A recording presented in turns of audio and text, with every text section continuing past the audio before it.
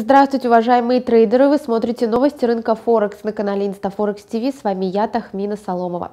День сегодня обещает быть интересным и насыщенным на макроэкономические события. Первыми со своими отчетами выходят Япония и Австралия. Так, согласно данным от Танкан, настроение крупных производителей в Японии продемонстрировали рост в первом квартале до 12 пунктов по сравнению с предыдущим увеличением до 10. Настроения крупных непроизводственных компаний также возросли. Индекс указал на увеличение значения до 20 10 пунктов, что совпало с прогнозами аналитиков.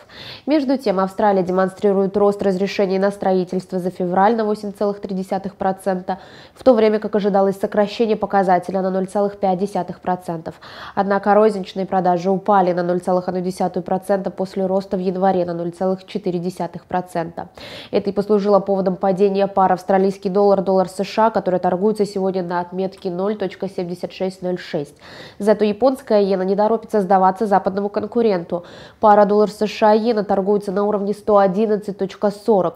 Стоит отметить, что инвесторы сейчас крайне осторожны с покупкой американского доллара, так как пребывают в ожидании протокола последнего заседания ФРС и встречу президента США Дональда Трампа и председателем КНР Си Цзиньпином.